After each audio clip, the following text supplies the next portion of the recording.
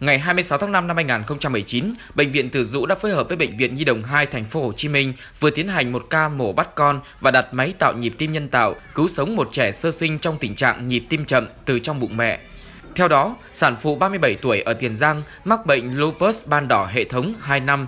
Khi song thai 24 tuần, bác sĩ phát hiện hai bé đều rối loạn nhịp tim, nhịp tim chậm, khiến diễn tiến thai kỳ đối diện nhiều khó khăn. Cái bệnh uh, lupus này là một trong những cái bệnh mà gây chiến nhịp tim cho em bé trong bào thai nó bị chậm. Và càng ngày diễn tiến thai kỳ nó sẽ càng nhịp tim em bé nó càng chậm. Thì cái khó khăn là khi mà theo dõi cái nhịp tim em bé mặc dù là mình đang uống thuốc điều trị bệnh lupus nhưng mà cái nhịp tim của em bé nó vẫn cứ tiếp tục diễn tiến chậm dần à, chị à, chị này có hai bé một bé thì bị nhịp tim chậm khoảng chừng à, 70 lần một phút còn một bé còn lại thì nhịp tim chậm hơn rất là nhiều khoảng chừng 40 mấy đến 50 lần một phút thì cái khả năng mà em bé à, sanh ra với một cái nhịp tim thai chậm như vậy thì à, cái tình trạng huyết động của nó sẽ không ổn định và có nguy cơ mình sẽ mất em bé nếu như mình không có được theo dõi trong môi trường thích hợp. Người mẹ còn bị biến chứng của song thai một nhau là một thai chậm tăng trưởng nặng và thiếu máu, cộng dồn nguy cơ tim mạch nên phải chấm dứt thai kỳ non tháng. Ngoài việc được theo dõi thai kỳ liên tục, người mẹ vẫn phải uống thuốc điều trị bệnh lupus.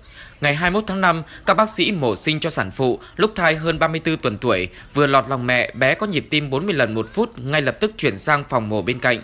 Ekip bác sĩ từ bệnh viện Nhi đồng 2 đặt máy tạo nhịp tim tạm thời, kích thích nhịp tim lên ngưỡng thích hợp để huyết động bé ổn định.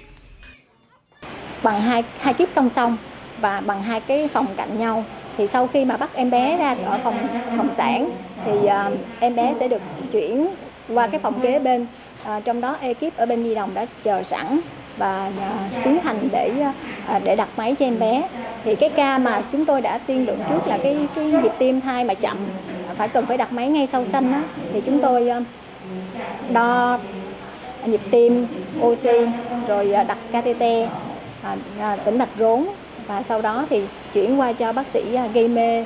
Rồi bác sĩ gây mê uh, gây mê cho em bé ngủ.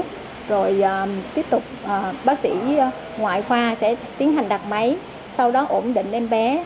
Và chúng tôi sẽ được cả xe cấp cứu uh, di chuyển em bé từ bệnh viện uh, sản từ Vũ tới bệnh viện Nhi đồng.